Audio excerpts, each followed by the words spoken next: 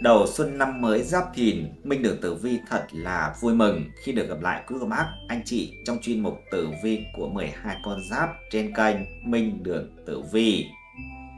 Thay mặt cho ban biên tập chương trình, Minh Đường Tử Vi được gửi lời chào, lời chúc tới quý cô bác, anh chị năm mới Giáp Thìn.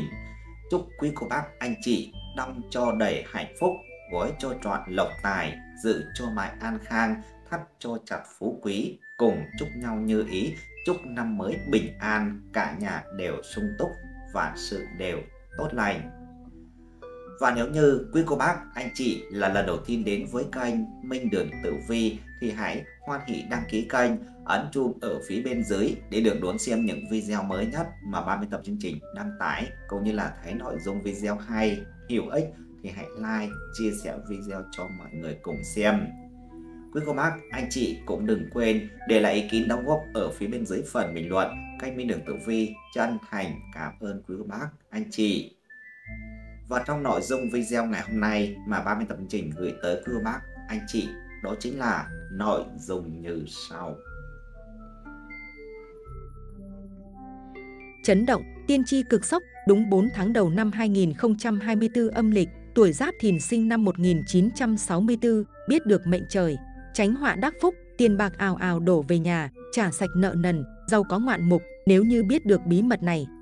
Quý vị thân mến, cổ ngữ có câu, bảo kiếm sắc nhờ mày ra, hoa mai thơm nhờ thống khổ trong bút giá, người muốn thành toại thì đều phải trả giá và đánh đổi. Kinh qua đủ các lò rèn, và khi thành báu vật rồi thì cuộc đời tự ắt an bài cho số phận an nhàn, giàu sang, mưu cầu như ý, sở cầu như nguyện, làm gì cũng hanh thông suôn sẻ, con cháu đến ba đời sau vẫn được hưởng phúc báu từ bạn. Vậy thì cuộc đời người sinh năm 1964, tuổi giáp thìn được định sẵn tuổi trẻ phải trải qua bao phen rèn rũa, túng khổ vất vả đau đớn, nhưng nhờ ý chí bền bỉ gan trường, mà người tuổi này vẫn thản nhiên vượt qua, khiến cho thần Phật cảm động trước tấm lòng son sắt, như thỏi vàng 10 chân quý biết bao. Khi xem lá số tử vi năm 2024 đã được hé lộ rằng vận trình của cô bác Giáp Thìn trong 4 tháng đầu năm 2024 tới sẽ có nhiều những khó khăn trong vận trình hung tinh chờ trực giáng xuống đầu. Tuy nhiên, nếu nắm chắc được là số tử vi của mình trong thời gian này, thì bản mệnh sẽ xoay chuyển được vận mệnh của mình. Tiền bạc ùn ùn kéo đến, trả sạch được mọi khoản nợ nần, dư giả và sung túc khiến cho ai cũng phải ngỡ ngàng ghen tị. Vậy, diễn biến vận trình của cô bác tuổi Giáp Thìn trong 4 tháng đầu năm sẽ diễn ra như thế nào? Bản mệnh cần nắm chắc điều gì để đổi đời hưng vượng, Hãy cùng với Minh Đường Tử Vi đi tìm hiểu ở nội dung chi tiết ngay dưới đây cô bác nhé. Thưa quý cô bác tuổi Giáp Thìn thân mến, năm 2024 là năm Giáp Thìn, mệnh hỏa, năm nay trùng với năm tuổi, vì vậy mà các yếu tố thiên can, địa chi, ngũ hành đều được bình hòa. Cô bác tuổi Giáp Thìn năm nay cũng đã ở đội tuổi lục tuần, nếu vẫn còn đang cống hiến cho sự nghiệp, thì quý cô bác có thể gặp khó khăn khi không theo kịp được lớp trẻ, phát huy không tốt dần sẽ bị đào thải, dù bản thân vẫn có nhiều tâm huyết, khi đã ở đội tuổi này, bản mệnh cũng nên dần trao lại việc cho con cái, đừng tự mình ôm đồm cả vào người rất dễ lao lực. Quý cô bác khi bước sang giai đoạn mới là không nghĩ đến tuổi tác, một số người cao tuổi luôn thích nói rằng họ đã già, không sống lâu, quý cô bác càng nghĩ như vậy sẽ càng trở nên bi quan, luôn luôn đổ lỗi cho tuổi tác, nửa sau cuộc sống có thể không hạnh phúc. Người xưa thường nói, nắng chiều vô cùng tốt, chỉ là gần đến hoàng hôn. Người già sau 60 tuổi đã làm việc chăm chỉ hơn nửa đời người, nên quên tuổi tác muốn làm gì thì làm, để cho mình khỏe mạnh và hạnh phúc là nhiệm vụ duy nhất của nửa đời sau. Khi bước sang vận trình 4 tháng đầu năm 2024 âm lịch, Minh Đường Tử Vi xin có đôi lời muốn nhắc nhở tuổi Giáp Thìn như sau.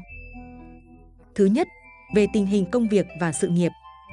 Quý cô bác tuổi Giáp Thìn chỉ cần duy trì những công việc trước đó của mình trong thời gian này, không phải đối mặt với nhiều thách thức như trước đây bằng lòng với cuộc sống và công việc hiện tại, đó là cách để giúp cho tuổi giáp thìn được sống hạnh phúc và an nhiên. Cô bác là những người cởi mở, tính tình thân thiện, tốt bụng và luôn sẵn sàng giúp đỡ người khác trong công việc mệnh chủ lúc nào cũng làm tốt vai trò của mình.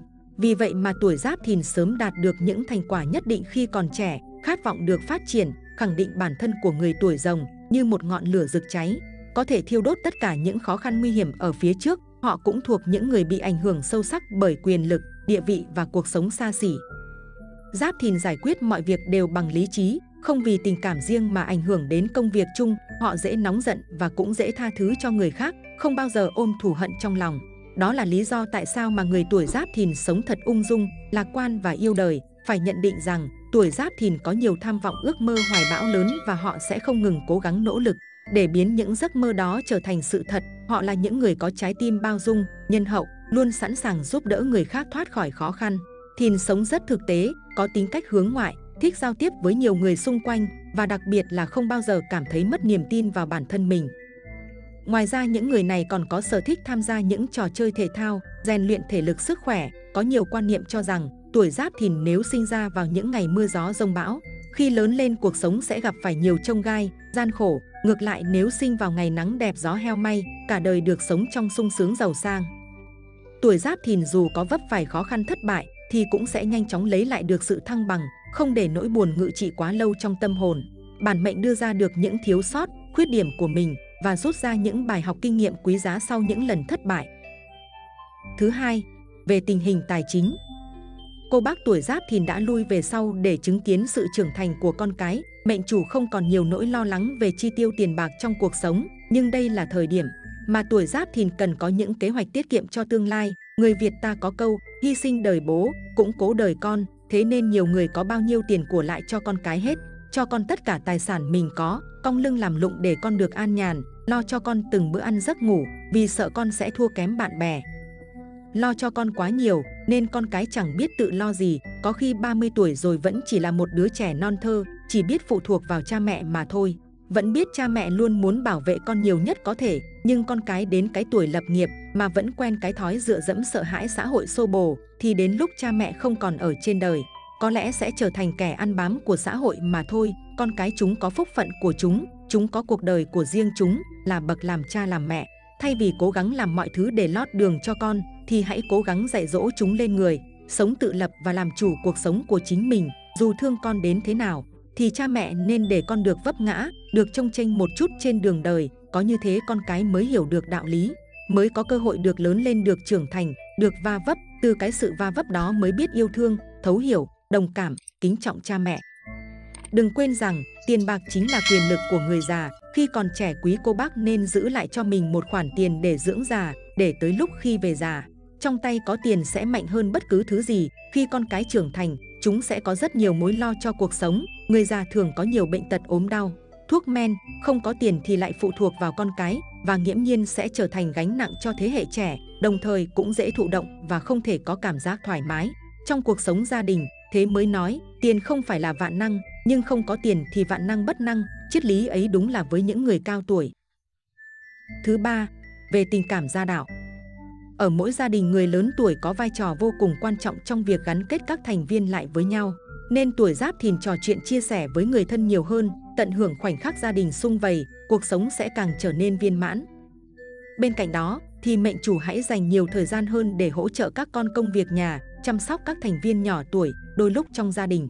Không thể tránh khỏi những quan điểm khác biệt giữa các thế hệ, nhưng nếu mệnh chủ chấp nhận sự khác biệt ấy, thì mọi người sẽ càng thấu hiểu yêu, thương nhau hơn. Một nhà nghiên cứu về cảm xúc từng cho rằng, để giữ cho mối quan hệ luôn tươi mới và lâu dài, thì sự thấu hiểu lẫn nhau là điều không thể thiếu. Ngày nay có rất nhiều gia đình kết cục là nhà không còn là nhà, vì người thân không thể thông cảm và hiểu cho nhau. Đừng nghĩ rằng từ chu đáo rất phổ biến, thực sự có rất ít người có thể làm được. Thực trạng hiện nay các bà vợ luôn cảm thấy chồng mình kiếm không đủ tiền để có thể so sánh với chồng của các quý cô, quý bác. Người chồng cũng cảm thấy vợ mình không làm gì khác ngoài việc so sánh. Mối quan hệ vợ chồng như vậy liệu có tốt không? Sự các thành viên trong gia đình đừng so sánh quá nhiều. Quý cô bác biết đấy, ai cũng có điểm mạnh và điểm yếu của riêng mình. Chỉ cần quý cô bác biết bao dung và quan tâm tới mọi người, thì gia đình luôn có sự ấm áp và yêu thương ngập tràn. Bởi vậy mà gia đình biết bao dung là nguồn phúc lành lớn nhất. Thứ tư là về sức khỏe. Ở độ tuổi này, sức khỏe là tài sản vô giá đối với tuổi giáp thìn. Sức khỏe càng tốt, tinh thần càng minh mẫn thì mệnh chủ sống càng hạnh phúc. Hơn nữa khi có một thể trạng tốt thì giáp thìn sẽ chủ động hơn trong cuộc sống, không cần tới sự trợ giúp nhiều của con cái. Thuật dưỡng sinh của người xưa gắn lên với khoa học về thân thể người thời đó, coi thân thể người như một phần của tự nhiên, con người muốn sống mà không bệnh, cần phải hòa hợp với tự nhiên, phải tu đức và dưỡng tính thiện, đã có bệnh ai cũng nghĩ đến tiền bạc không thương tiếc, tính mạng mới là quan trọng. Nhưng việc điều trị những căn bệnh như vậy là không biết phải tốn bao nhiêu tiền cho đủ số tiền tích góp cả đời. Đó cũng là lý do mà người đã thoát nghèo rồi, lại bị tái nghèo, có những người đang giàu có bỗng trở nên kiệt quệ, có những người dành cả đời để suy nghĩ làm sao có đủ tiền để sống an nhiên tuổi già, để rồi đến cuối đời lại chẳng thể tiếp tục suy nghĩ như vậy nữa, chỉ mong sao có đủ tiền để trả viện phí, trả tiền thuốc men, làm việc cật lực cả đời, cuối cùng chỉ mong có được một chỗ nằm trong bệnh viện. Nhiều người có suy nghĩ bản thân mình khỏe mạnh sẽ không xui xẻo mắc về bệnh hiểm nghèo. Thế nhưng ai nắm tay được từ tối đến sáng đâu, ai có thể gieo trước và biết trước được phúc hậu ngày mai đâu, cho nên tuổi giáp thìn hãy ngẫm mà xem nhé. Vậy, vận trình tử vi chi tiết B tháng đầu năm 2024 của tuổi giáp thìn sẽ diễn ra như thế nào, biến động hung cát ra sao, quý vị hãy cùng lắng nghe nhé.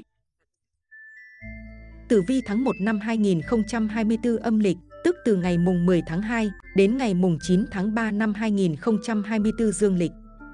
Tử vi tháng Bính dần âm lịch cho thấy thái độ tận tâm và nhờ đó sẽ gặt hái được kha khá thành quả cho tuổi Giáp Thìn. Quý cô bác luôn biết cân bằng thời gian làm việc và nghỉ ngơi để đảm bảo hiệu quả công việc cao nhất có thể. Vận trình công việc của cô bác tháng này khá ổn, tuy ngày làm việc không nhiều, nhưng quý cô bác lại khá tận tâm và gặt hái được kha khá thành quả. Quý cô bác luôn biết cách cân bằng thời gian làm việc và nghỉ ngơi để đảm bảo hiệu quả công việc cao nhất có thể. Lúc này thì nên cân nhắc đánh giá lại chiến lược phát triển sự nghiệp của bản thân. Hãy nhìn lại những gì quý cô bác đã đạt được và cả những gì mà quý cô bác đã bỏ ra. Để có cái nhìn khách quan nhất, liệu rằng quý cô bác có đang đi quá nhanh mà bỏ lỡ những chi tiết cơ bản nhất hay không? Nếu như quý cô bác biết rút kinh nghiệm và để ý hơn tới chi tiết, những điều mà quý cô bác tưởng như không quan trọng thì kết quả sắp tới sẽ hứa hẹn khởi sắc rõ rệt đấy.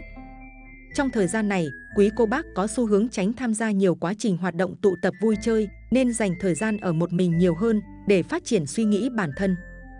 Về tình hình tài chính trong tháng này lại rất đáng mong đợi, lúc này quý cô bác đã nhận được chút thành quả cho những cố gắng của mình trong thời gian vừa qua.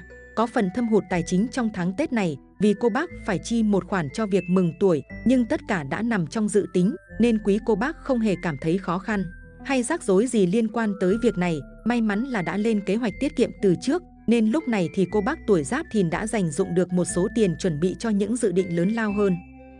So với những người khác thì tình hình tài chính của quý cô bác đã khởi sắc hơn trước rất nhiều. Các cặp vợ chồng sẽ trải qua những thời khắc đáng nhớ cùng nhau. Từng năm qua đi, cô bác sẽ càng thấy quý giá và trân trọng tình cảm mà hai người đã cùng nhau vun đắp, xây dựng trong suốt thời gian vừa qua. Lúc này quý cô bác cũng nên tận dụng thời điểm đầu năm mới khi mọi người mở lòng mình ra hơn để tìm cách mở rộng mối quan hệ, kết giao với bạn bè mới. Điều này sẽ giúp ích cho những dự định tương lai của bạn. Tình hình sức khỏe của bản mệnh tháng này không nên chủ quan, chỉ cần không chú ý chút thôi là có thể lăn ra ốm. Vì thời tiết thay đổi thất thường và sức đề kháng của quý cô bác không tốt, tuy nhiên chỉ cần chú ý một chút là tình hình cũng đã khác đi rồi. Mặc dù quý cô bác sinh ra không được khỏe mạnh, thậm chí yếu ớt, nhưng nếu chăm sóc tốt cho bản thân, cô bác vẫn có thể sống khỏe mạnh theo năm tháng. Nếu trong năm qua quý cô bác quá bận rộn, không dành đủ thời gian chăm sóc bản thân, thì trong ngày đầu năm mới hãy bắt đầu bằng những kế hoạch mới và đừng quên thực hiện chúng từng chút một nhé. Lưu ý là không nên say sưa rượu bia quá nhiều, việc này không chỉ gây hại cho sức khỏe bản thân mà còn gây hung hiểm cho người khác khi cô bác lúc nào cũng trong tình trạng say xỉn. Tử vi tháng 2 năm 2024 âm lịch, tức từ ngày mùng 10 tháng 3 đến ngày mùng 8 tháng 4 năm 2024 dương lịch. Tử vi tháng 2 cho thấy công việc thời gian này có nhiều thăng trầm, mang lại cho cô bác khá nhiều cảm xúc. Nhưng nếu quý cô bác biết lên kế hoạch và nhìn nhận vào thực tế của mình, sẽ đủ khả năng điều chỉnh sớm cho phù hợp, vì thế không có gì phải quá lo lắng cả. Nhất Bạch bay về phương Bắc, hỗ trợ cho con giáp tuổi giáp thìn rất nhiều, nhất là khi phải đối mặt với hoàn cảnh khó khăn trong giai đoạn này, công việc tháng này có nhiều thăng trầm, mang lại cho quý cô bác khá nhiều cảm xúc, nhưng nếu biết lên kế hoạch và nhìn nhận vào thực tế của tình hình, sẽ đủ khả năng điều chỉnh sớm cho phù hợp, vì thế không có gì phải quá lo lắng cả. Quý cô bác có thể sẽ mất nhiều ngày, nhiều tháng hoặc nhiều năm để chấp nhận một sự việc nào đó đã xảy ra, nhưng một khi đã đủ mạnh mẽ để nhìn vào quá khứ, hãy phân tích và học hỏi từ nó. Tháng này, quý cô bác tránh tâm lý ghen tị với thành công của ai đó, ghen tị dễ khiến cho chúng ta đưa ra những quyết định sai lầm, hoặc chạy theo vật chất, hướng đến bên ngoài, hoặc dậm chân tại chỗ, tự thỏa mãn với cuộc sống hiện tại. Thần tài che chở hứa hẹn rằng tháng này con giáp tuổi giáp thìn sẽ thoát được những khó khăn tài chính trước đây, thậm chí có người thanh toán được nợ nần cũ đã từ lâu còn tồn đọng. Việc buôn bán kinh doanh của bản mệnh lúc này đã vào guồng và thuận lợi hơn bao giờ hết. Việc làm ăn rực rỡ hơn mang lại cho quý cô bác nhiều động lực và đam mê cho lĩnh vực của mình. May mắn là quý cô bác phát huy được lợi thế, cộng với sự hỗ trợ của mọi người xung quanh nên mọi việc sẽ trở nên suôn sẻ. Vì thế, đừng quên trả ơn những người đã giúp đỡ mình nhé. Tình hình sức khỏe của tuổi Giáp Thìn lúc này không phải lo lắng nhiều, thế nhưng cô bác vẫn e ngại vấn đề về dịch bệnh trong thời gian tới. Thay vì nghĩ ngợi, quý cô bác hãy chuẩn bị cho mình một hệ miễn dịch khỏe mạnh, hãy cố gắng tập thể dục, ít nhất là 150 phút một tuần, hoặc chỉ cần 75 phút một tuần với cường độ cao gấp đôi, bình quân mỗi ngày. Chúng ta nên tập thể dục ít nhất là 30 phút thông qua các bài tập đơn giản, chạy bộ, xoay cơ, xoay khớp. Quý cô bác có thể tập luyện nhiều hơn thời gian đó nếu muốn. Ngoài ra, quý cô bác có thể bổ sung các dưỡng chất bằng việc ăn uống đủ chất, nhất là bổ sung rau xanh, hoa quả tươi, ăn nhiều cá thay vì ăn thịt. Đó là cách khôn nhất để quý cô bác có thể lo cho sức khỏe của mình. Nếu có ý định uống vitamin để bổ sung dưỡng chất thì nên xem xét lại. Vì thực tế quý cô bác không biết mình thiếu vitamin nào, tốt hơn hết hãy đi khám để nghe lời khuyên của bác sĩ, đừng nghe ai đó nói mà đã vội vàng uống thực phẩm chức năng. Tử vi tháng 3 năm 2024 âm lịch, tức từ ngày mùng 9 tháng 4 đến ngày mùng 7 tháng 5 năm 2024 dương lịch. Theo tử vi tháng đinh mão cho thấy, vật trình của tuổi này sẽ không có nhiều quá biến động, mọi thứ vẫn diễn ra êm đềm và đều đặn như trước đó. Cơ hội để phát triển vẫn có, song cũng tồn tại những thách thức nhất định mà bản mệnh không nên chủ quan. Sự nghiệp của tuổi giáp thìn không có nhiều thay đổi trong tháng này, công việc vẫn như cũ, tiến trình cũng được bản mệnh duy trì ổn định. Nguyệt lệnh lâm dưỡng cho thấy tháng này thích hợp để bản mệnh cũng cố điều chỉnh lại các kế hoạch công việc cho chắc chắn, giảm thiểu tối đa các sự cố không đáng. Đây sẽ là giai đoạn tạo bước đà để quý cô bác bứt phá mạnh mẽ trong khởi đầu của một năm mới. Trong tháng này, nhờ sự chủ động và bình tĩnh khi đối mặt với sự cố mà quý cô bác Giáp Thìn có thể khẳng định được năng lực và kinh nghiệm lão làng của mình. Đó cũng là cách mà cô bác tìm ra được giải pháp cho các vấn đề trong công việc. Nhìn chung thì cơ hội để phát triển vẫn có, song cũng tồn tại những thách thức nhất định mà bản mệnh không nên chủ quan. Để mọi việc được vận hành trơn tru nhất, hạn chế sự cố quý cô bác nên lập kế hoạch sát sao và kiểm soát quá trình thật cẩn thận. Xét theo hướng tích cực, những khó khăn thử thách này cũng mang đến cho quý cô bác cơ hội để thể hiện khả năng và tài năng của mình. Cô bác cần duy trì thái độ tích cực và nỗ lực bền bỉ, tin tưởng vào bản thân và tin rằng mình có thể vượt qua mọi khó khăn.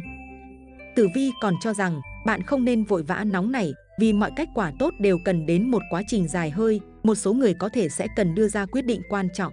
Những quyết định này có thể có tác động đến cả sự nghiệp trong tương lai của bạn. Trước khi đưa ra quyết định, cô bác cần xem xét đầy đủ các yếu tố khác nhau và tham khảo ý kiến đề xuất của người khác, cũng cần giữ cho mình sự bình tĩnh và suy nghĩ hợp lý, chớ để bản thân bị lung lay về cảm xúc và căng thẳng. Các cát tinh tử vi giải thần và chính quan đều là những sao tốt cho công danh sự nghiệp của tuổi giáp thìn, do đó mà ở thời điểm hiện tại, cô bác hãy cứ tập trung và chăm chỉ trong sự nghiệp, tích lũy kinh nghiệm và nâng cao khả năng, việc thế nào thì làm thế ấy, hạn chế tính toán những điều quá xa vời. Đồng thời quý cô bác cũng phải chú ý xử lý các mối quan hệ tại nơi công sở, giao tiếp tốt với đồng nghiệp và lãnh đạo, đạt được sự hợp tác đôi bên cùng có lợi. Tuy không có tài tinh chiếu mệnh, song tài chính của tuổi thìn cũng không đến mức ảm đạm trong tháng này, các khoản thu nhập chủ yếu vẫn đến từ công việc chính. Nếu đảm bảo được công việc hiện tại phát triển ổn định, thì bản mạnh không có gì phải lo lắng về tài chính, mặc dù vẫn có một số thách thức, nhưng quý cô bác cũng có cơ hội kiếm thêm thu nhập. Thông qua việc làm chăm chỉ và đầu tư thông minh, cô bác có thể cân nhắc tìm kiếm một số công việc tay trái hoặc công việc bán thời gian để bổ thu nhập của mình. Bên cạnh đó, đừng quên tiết kiệm nhiều hơn bằng cách thay đổi thói quen chi tiêu và tập trung quản lý tài chính thích hợp, đó là cách giữ tiền bền vững nhất. Với người làm kinh doanh, áp lực cạnh tranh vẫn còn đó, các đơn hàng vẫn có, nhưng đa phần không chất lượng, các khoản chi phí bên lề phát sinh nhiều. Trong khi doanh thu không tăng, hầu như lãi vẫn chưa thấy, cần xem xét lại cách thức thực hiện, sai chỗ nào cần sửa ngay, có như vậy tình hình mới chuyển biến tốt. Thời điểm này, quý cô bác không nên cố chấp ôm đồm nhiều việc cùng lúc bởi hiệu quả không cao, thu nhập không tăng mà áp lực tinh thần thì ngày càng nặng nề. Hãy cố gắng làm tốt nhất những việc trong tay, đó có thể sẽ là nguồn thu nhập ổn định và an toàn cho quý cô bác với lợi thế là đang có sẵn kinh nghiệm. Một số người có thể gặp phải một số chi phí bất ngờ hoặc rủi ro khi đầu tư. Trước khi đưa ra bất kỳ quyết định tài chính nào, quý cô bác cần đánh giá cẩn thận những rủi ro tiềm ẩn và lợi thế thực tế ra sao, cũng như tìm kiếm lời khuyên từ chuyên gia chớ nên mù quáng theo đuổi lợi ích ngắn hạn mà gây tổn hại đến sự an toàn tài chính lâu dài. Ngoài ra, cần cẩn thận khi cho vay mượn tiền bạc, tránh tình trạng tiền một đi không trở lại, hãy lấy tích lũy làm trọng để cuộc sống sung túc đủ đầy hơn. Tử vi tháng âm lịch cho biết, đời sống tình cảm của những chú rồng cũng sẽ tràn đầy cảm xúc lãng mạn trong tháng mới. Quý cô bác biết cách duy trì các mối quan hệ của mình ở tình trạng hài hát a ít có xung đột. Tình hình sức khỏe của tuổi Giáp Thìn cũng khá ổn định trong tháng này, không gặp bất cứ tình trạng bệnh tật nguy cấp nào phải lo lắng. Dù vậy, bản mệnh vẫn cần duy trì và chú ý sức khỏe thể chất. Ngoài việc ăn uống điều độ, cô bác cũng nên chú ý điều tiết tâm trạng. Khi gặp tình trạng bế tắc, cô bác nên tìm kiếm sự hỗ trợ, giúp đỡ về mặt tinh thần bằng cách nói chuyện với bạn bè và gia đình. Chỉ khi tinh thần thoải mái thì sức khỏe mới được đảm bảo. Tử vi tháng 4 âm lịch, tức từ ngày mùng 8 tháng 5 đến ngày mùng 5 tháng 6 năm 2024 dương lịch. Tử vi tháng 4 tuổi Giáp Thìn âm lịch có điểm sáng bất ngờ khi được quý nhân tam hợp nâng đỡ, thời cơ chín mù rồi làm gì cũng sẽ thuận lợi thôi, theo lịch vạn niên. Đây là thời điểm để cho cô bác gặt hái thành quả xứng đáng trong sự nghiệp. Sau bao tháng ngày nỗ lực phấn đấu không mệt mỏi, được quý nhân tam học nâng đỡ, công việc trong tháng tiến hành suôn sẻ, đầu xuôi đuôi lọt, hầu như chỉ cần làm theo kế hoạch là quý cô bác đã có được kết quả lý tưởng, không phải lao tâm khổ tứ quá nhiều. Vận khí hanh thông giúp cho tinh thần làm việc của cô bác thêm hăng say nhiệt huyết, vì thế mà mưu sự càng dễ thành, có thể tính toán chuyện lớn, mạo hiểm một chút cũng không thành vấn đề. Có điều trong tháng nguyệt lệnh lâm suy, lại có bạch hổ hung tinh rình rập, vẫn có những kẻ thích ném đá hội đồng. Vì ghen ăn tức ở, giáp thìn nên bỏ ngoài tai, tập trung vào việc của mình, rồi thị phi cũng sẽ qua. Tài vận của cô bác ở trong tháng này có xu hướng tăng, chủ yếu đến từ chính tài, hầu như thứ tài không hỗ trợ nhiều, vì thế thời điểm này bản vận vẫn nên tập trung phát triển, mở rộng công việc chính hơn là ôm đồm những việc ngoài luồng khác, hiệu quả không cao mà thu nhập cũng không tăng được là bao. Trong tháng thứ tài ảm đạm, tốt hơn hết bản mệnh nên tránh xa những hạng mục đầu tư mang tính mạo hiểm cao. Có tiền rảnh rỗi có thể đầu tư, nhưng nên chọn dự án mang tính an bài, lợi nhuận ít nhưng đổi lại ít sự rủi ro. Khoảng cách giữa các thế hệ trong một gia đình thì ngày càng lớn, điều đó khiến cho mọi thành viên trong nhà đều áp lực, thậm chí không muốn trò chuyện, chia sẻ ngay với người thân thiết. Tuy nhiên tháng này đi xa không có lợi, sẽ gặp trục trặc, sự cố bất ngờ về sức khỏe như nguy cơ ngộ độc thực phẩm, ăn uống không hợp khẩu vị, thời tiết nóng lạnh đột ngột. Ngoài ra, thang có bạch hổ hung tinh ảnh hưởng, giáp thìn nên đi đứng cẩn thận kẻo gặp tai nạn bất ngờ hoặc bị té ngã dẫn đến chấn thương chảy máu. Tiếp theo là tổng kết vận trình tử vi 4 tháng đầu năm 2024 và hướng hóa giải vận hạn cho quý cô bác tuổi giáp thìn như sau. Đa phần giáp thìn đều nhận thấy nhiều dấu hiệu khó khăn khách quan trong tử vi năm 2023, tuy nhiên nó chưa quá rõ ràng. Sang 4 tháng đầu năm 2024, khó khăn và thách thức ấy sẽ thường trực nhiều hơn, khiến đương số kiếm tiền khó khăn hơn, làm ăn chật vật hơn, sức khỏe cũng suy yếu đôi phần so với trước đó. Tuy nhiên vận tốt hay xấu không chỉ phụ thuộc vào cục diện lưu niên, vào thời cuộc khách quan, mà còn tùy vào nỗ lực của bản thân và thái độ đón nhận của tuổi giáp thìn, nên chuẩn bị tâm lý kỹ càng, hành sự thận trọng, thì trong nguy có cơ, lúc cấp bách vẫn nhìn thấy cơ hội tốt mà phấn đấu, hứa hẹn sẽ có những bước lội ngược dòng ngoạn mục trong sự ngỡ ngàng của chính bạn. Sau đây là cách hóa giải vận xui hiệu quả cho tuổi Sáp thì trong năm 2024. 1 tránh kết thúc việc quan trọng trong năm 2024. Dù mức độ ảnh hưởng của hạn tam tai năm cuối đã nhẹ hơn trước, nhưng người tuổi giáp thìn cần lưu ý, tránh kết thúc việc quan trọng trong năm nay. Ví dụ như kết thúc một dự án lớn, hoàn thiện việc xây dựng nhà cửa, thay vào đó nên mở rộng và phát triển thêm sẽ thuận lợi hơn rất nhiều. 2. Chớp thời cơ ngay khi có thể. Do tác động cùng lúc của cục diện trực thái tuế và hạn cuối tam tai, vận chính năm 2024 về cơ bản nhiều bất lợi khó khăn, tuy nhiên không phải xuyên suốt là chuỗi những ngày xui xẻo. Vẫn có những điểm dáng bất ngờ ở mỗi trọng, nhất là khi vận khí hanh thông, do gặp các tinh soi đường chỉ lối, gặp đúng thiên thời, địa lợi, đó chính là cơ hội tốt để đương số nhìn lại chính mình. Khắc phục điểm yếu, phát huy thế mạnh để chấp thời cơ làm ăn phát đạt hoặc thăng tiến gấp nhiều lần so với những thời điểm khác trong năm. 3. Hành sự thận trọng và chuyên cần Phàm làm việc gì, bất kể lớn nhỏ, hành sự thận trọng, chăm chỉ và có kế hoạch rõ ràng sẽ giúp cho bản mệnh ạt hái được kết quả như mong đợi. Nên nhớ rằng, tài lộc không tự nhiên sinh ra, tiền tài không tự nhiên mà có tất cả đều quy đổi từ sức lao động sự nỗ lực và cố gắng chuyên cần của bản thân. Một khi cô bác đã cố gắng hết mình, vũ trụ sẽ đáp lại bằng những gì xứng đáng. 4. Làm nhiều việc thiện, việc tốt giúp đỡ mọi người. Hành thiện là cách tạo phước dễ dàng và lâu bền nhất. Hãy bắt đầu từ những việc nhỏ, từ người thân trong gia đình, tới việc lớn, hay tới bạn bè mọi người xung quanh. Mỗi hành động tốt đều gieo nhân lành, xui khí từ đó cũng bị tiêu trừ, cát khí gia tăng. 5. Đầu năm không quên cúng dâng sao dài hạn. Nếu còn bận tâm về hạn tam tai hay một số sao xấu xung chiếu trong năm 2024, đương số có thể làm lễ cúng dâng sao dài hạn đầu năm, việc cúng bái cốt ở tùy tâm. Miễn sao thấy tâm bình an là được, không cần quá chú trọng mâm cao cỗ đầy, tuổi giáp thìn có thể thành tâm làm lễ, chỉ đừng xa đà quá vào mà thôi. Cô bác thân mến, ông bà ta có câu truyền thụ lại rằng, chọn bạn mà chơi và trong công việc làm ăn kinh doanh cũng thế.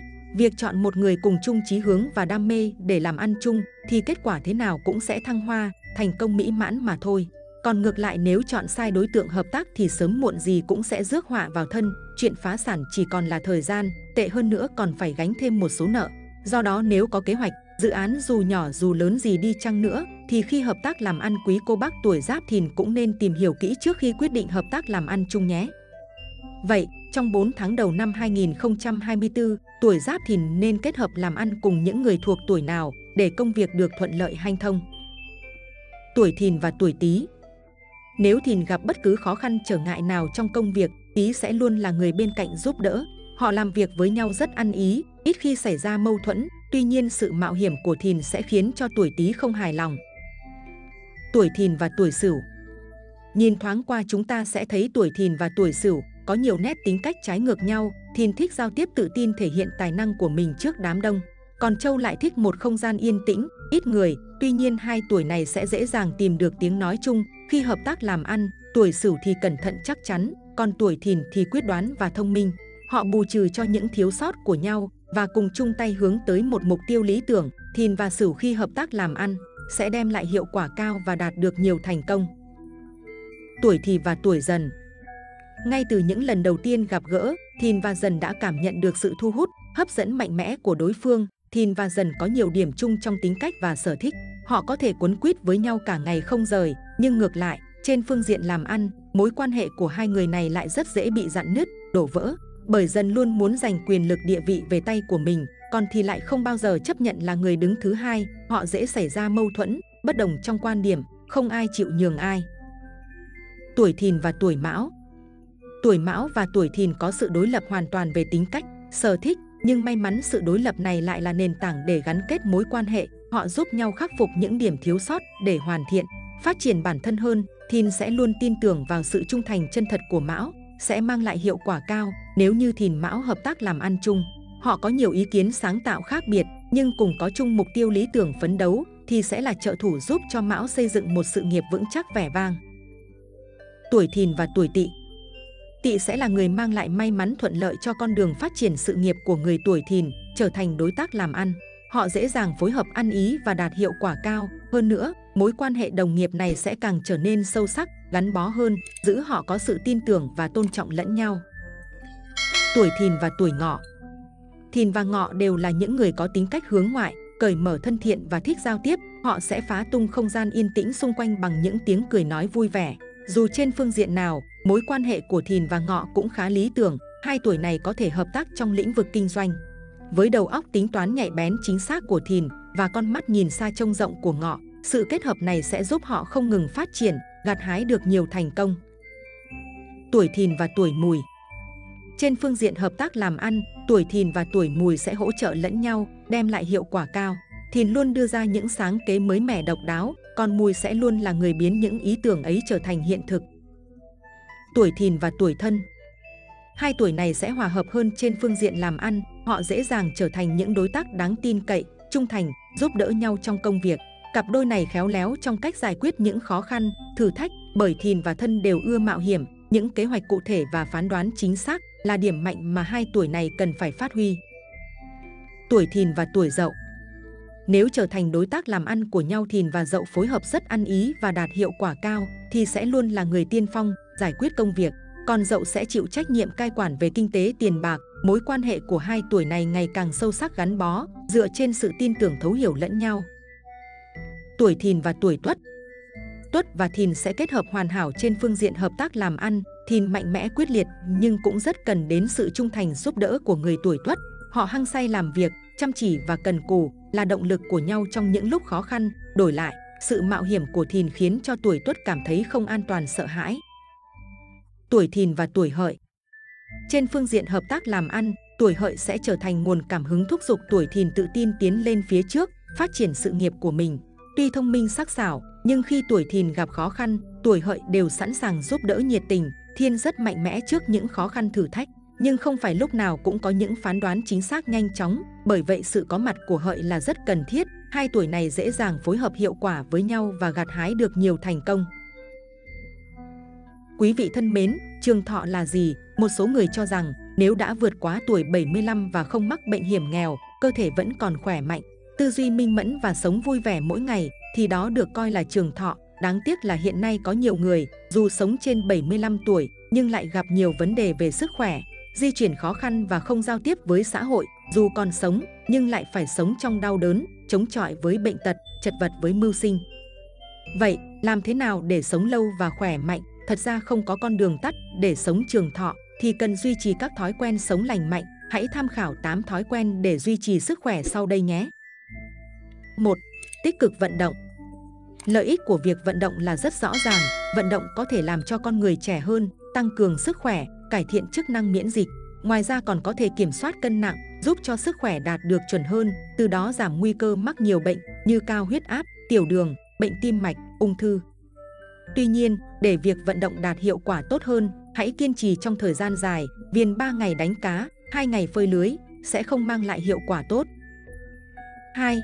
Không hút thuốc Thuốc lá có mối liên hệ mật thiết với nhiều loại bệnh và việc hút thuốc kéo dài sẽ làm giảm tuổi thọ. Đây không phải là lời đe dọa vô căn cứ. Một số người thường nói rằng có những người hút thuốc sống đến 80, 90 tuổi, nhưng đó chỉ là hiện tượng cá biệt. Việt Nam là một trong những quốc gia có tỷ lệ mắc bệnh và tử vong do ung thư phổi cao nhất trên thế giới. Điều này có liên quan chặt chẽ đến số lượng người hút thuốc, vì vậy đừng tìm lý do cho bản thân, hãy bỏ thuốc lá ngay lập tức vì sức khỏe của bạn. 3.